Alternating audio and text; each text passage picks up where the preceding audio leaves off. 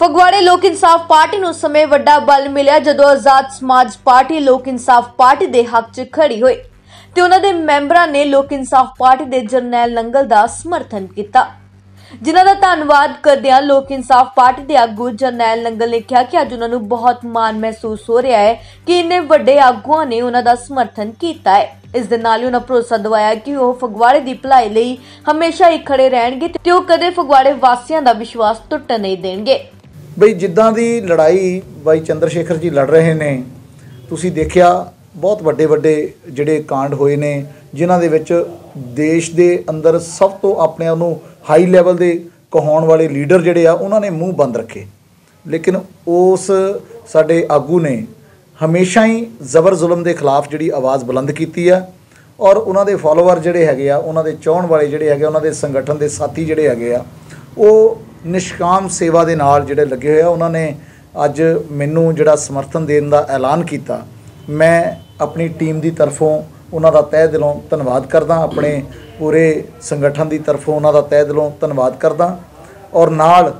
ਇਹ ਭਰੋਸਾ ਵੀ ਦਵਾਉਣਾ ਕਿ ਜੇ ਤੁਸੀਂ ਮੇਰੇ ਤੇ ਇਸ ਗੱਲ ਦਾ ਭਰੋਸਾ ਜਤਾਇਆ ਕਿ ਫਗਵਾੜੇ ਦੇ ਵਿੱਚ ਅਗਰ ਜ਼ਬਰ ਜ਼ੁਲਮ ਦੇ ਖਿਲਾਫ ਆਵਾਜ਼ ਬੁਲੰਦ ਕਰਨ ਦੀ ਕਿਤੇ ਗੱਲ ਆਉਂਦੀ ਹੈ, ਤਾਂ ਜਰਨੈਲ ਨੰਗਲ ਦਾ ਨਾਮ ਆਉਂਦਾ ਜਿਸ ਨੂੰ ਉਹਨਾਂ ਨੇ ਮੁੱਖ ਰੱਖ ਕੇ ਅੱਜ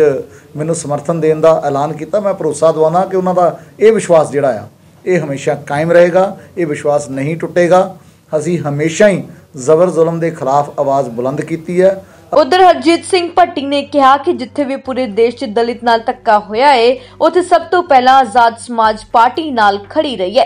ਤੇ ਹੁਣ ਉਹਨਾਂ ਨੂੰ ਪੂਰੀ ਉਮੀਦ ਹੈ ਕਿ ਜਰਨੈਲ ਨੰਗਲ ਵੀ ਆਪਣੀ ਜ਼ਿੰਮੇਵਾਰੀ ਬਾਖੂਬੀ ਨਿਭਾਉਣਗੇ। ਪੂਰੇ ਦੇਸ਼ ਦੇ ਵਿੱਚ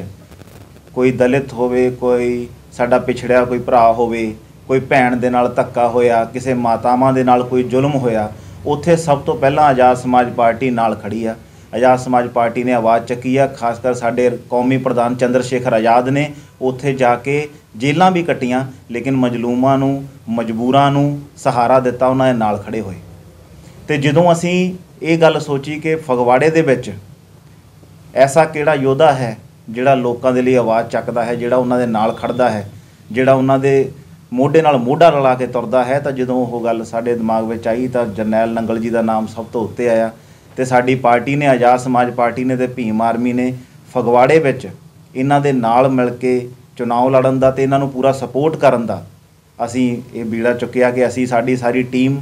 ਭੀਮ ਆਰਮੀ ਦੀ, ਆਜ਼ਾਦ ਸਮਾਜ ਪਾਰਟੀ ਦੀ ਫਗਵਾੜੇ ਵਿੱਚ ਇਹਨਾਂ ਨੂੰ ਜਿਤਾਏਗੀ।